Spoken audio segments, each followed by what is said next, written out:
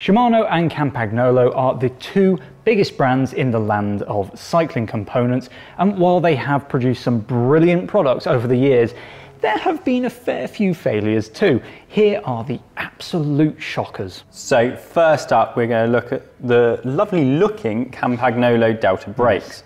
While looks are obviously important, what you really want your brakes to do is stop you. And it was here that the Campag's engineering had gone too far towards the looks. Oh, really?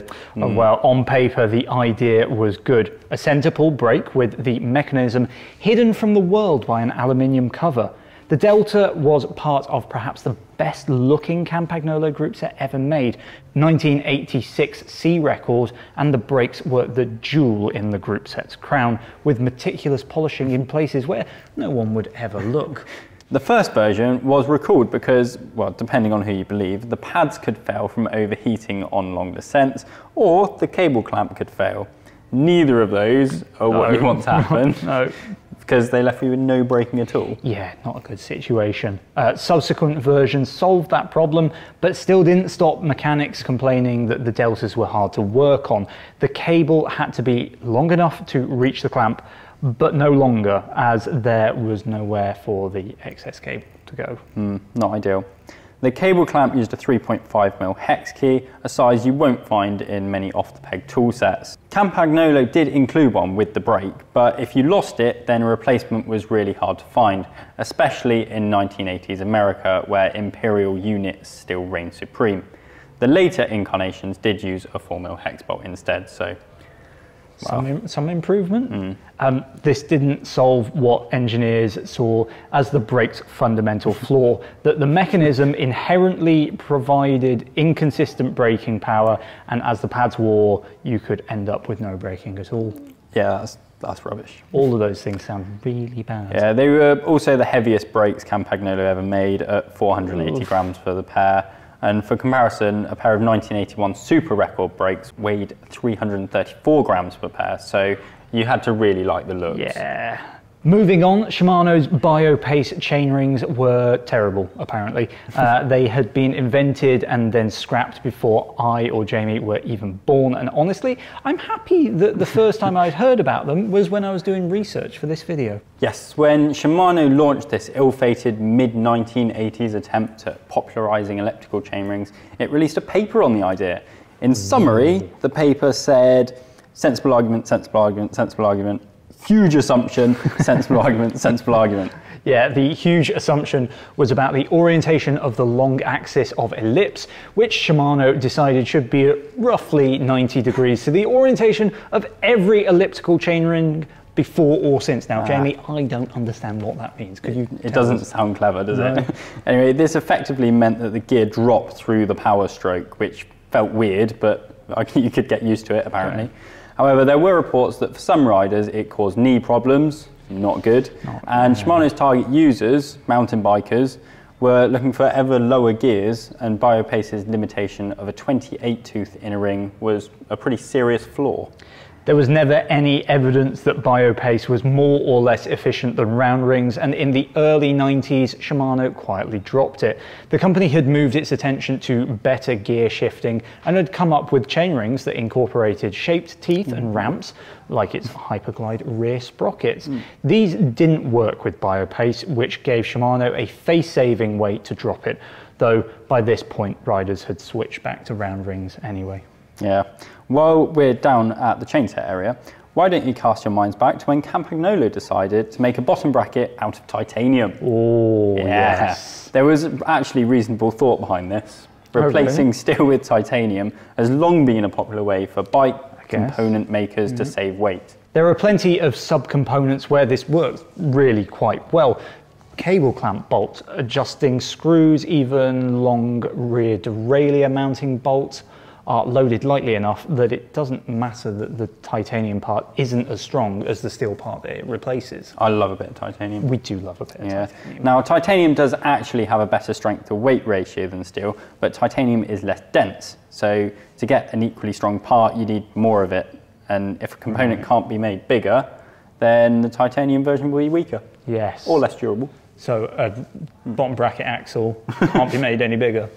Anyway, that was the problem with the Super Record titanium bottom bracket that Campagnolo introduced in the late 70s.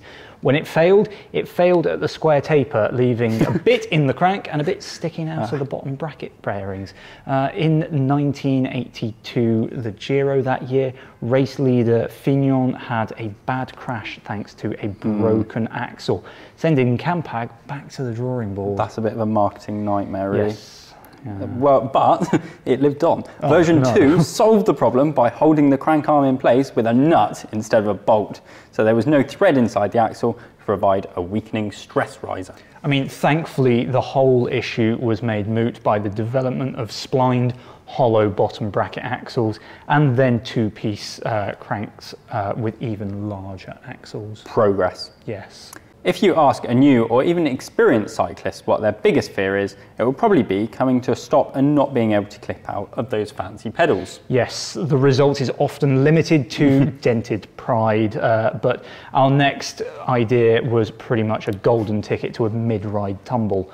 While Look was creating and then dominating the road bike clipless pedal category, Shimano saw an opportunity in the booming mountain bike arena. Hmm. Instead of a big plastic cleat that stood proud on the sole, Shimano tucked a small steel cleat into a recess in the sole so that you could walk in the shoes. Sounds I mean, like a great idea. It was a runaway success, still is. Uh, first among mountain bikers, and then touring cyclists and uh, commuting riders who like the security of being clipped in, but wanted to be able to walk um, off the bike. It's really quite handy. Yeah. Shimano made several attempts to crack the road bike clipless market with designs that included a single-sided pedal that used the same two-bolt cleat design as the mountain bike pedals.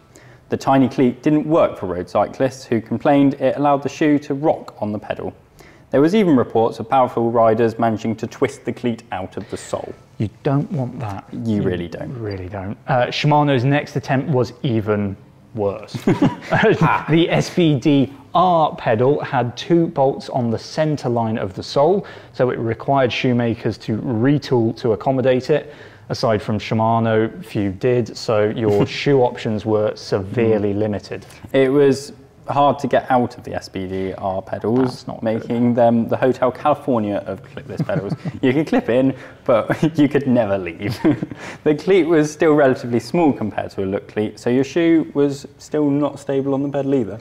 I mean, to be fair, one group of riders did love the SPDR. Did Track racers. Um, the difficulty of exit appealed to riders for whom an accidental pedal release was a disaster. And over a decade after they were discontinued, they were still a cult item in the uh, track world. There we go, learn something new every day. Shimano eventually gave up trying to go its own way and produced the SPD SL in 2002. This fit the same 3 bolt mounting as Look and has been a brilliant design ever since. And finally, a much more recent failure on hmm. Shimano's part came, well, with the Hollowtech 2 cranksets. These are still out there. Hmm. As the name suggests, these cranks were hollow inside with two alloy pieces being bonded together. The theory is sound, and to be fair to Shimano, many people have experienced zero issues. but when they failed, they failed dramatically. If you ask Shimano, I'm pretty sure this isn't a problem. Yes. But anyway, the issues seem to be caused by water ingress. It would work its way in through the hollow axle, get busy causing some corrosion in the bond structure, and that's when you'd find your crankset in two pieces. So you know that you said that Shimano said that it wasn't a problem. Mm. They've said that with the new 12-speed group sets, the issue has been resolved. So that problem that wasn't a problem has been resolved. Excellent. That's probably Will- why they're slightly heavier. Yes, hmm. but the thing will be, time will tell whether they've actually solved the issue. I'm happy with a few extra grams and my crank not falling apart. Me too. but none of us have ridden them through a winter yet We to haven't. really test them No. out. And I won't be. You don't ride in the winter. What I do, it's just cold, so I ride a lot less. Hmm. and I don't ride my nice summer bike with the 12 speed. Anyway, um, which one of these is your favourite, worst, favourite? Yeah, favourite failure? Yeah, let us know in the comment section below. Oh, and remember to like and subscribe before you go. Because you pesky lot, there's 80% of you that haven't subscribed to the channel. Naughty, so you're probably missing out on whatever brilliant content Liam thinks up next. Yes.